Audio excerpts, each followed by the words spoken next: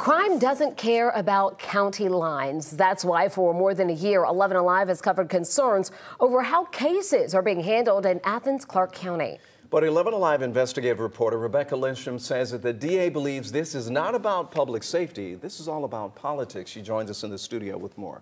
Yeah, lawmakers created a commission to go after what they thought were DAs failing to do the job properly. And it had DAs like Deborah Gonzalez in mind. While that commission is now in limbo, she is still facing lawsuits from the people she was sworn to protect, a fight that has already cost taxpayers more than $170,000. Deborah Gonzalez is less than five feet, but every inch stands tall. Despite criticism from some of the community, she is proud of her office's achievements. I'm doing exactly what they elected me to do, right? Keep the community safe. We were able to start a restorative justice program, a safe initiative addressing fentanyl. And Gonzalez fought and won to get prosecutors in her office better pay. When we first sat down to talk with the district attorney for Georgia's Western Judicial Circuit last March, she insisted money was the reason she couldn't hire and retain attorneys. Employees have a real choice of where they want to go.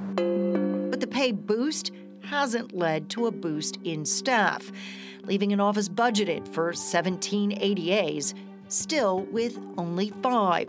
Such a negative narrative has been put out for so long that that's now affecting it. Gonzalez is now entering her fourth year as DA, and as she campaigns for reelection, representing the Athens Clarke County District Attorney Deborah Gonzalez, she faces a lawsuit claiming she has failed to do her job.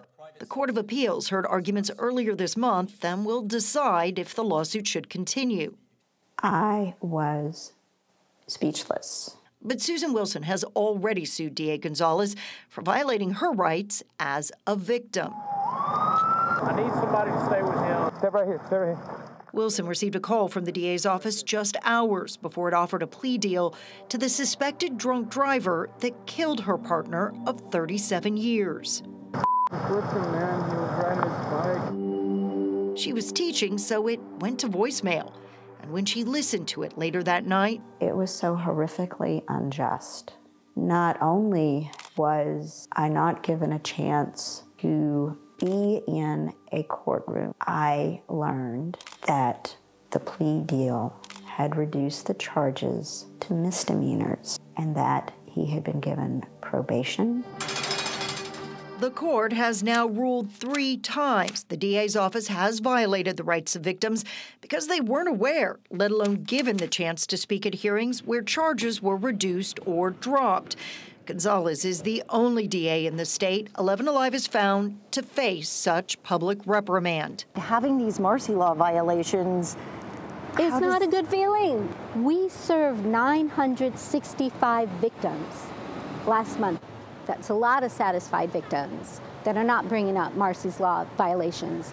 11 Alive Investigates tracked all of the charges on the trial court calendar in Athens Clarke County Superior Court last year. Of those closed, the DA's office chose not to prosecute nearly half of them.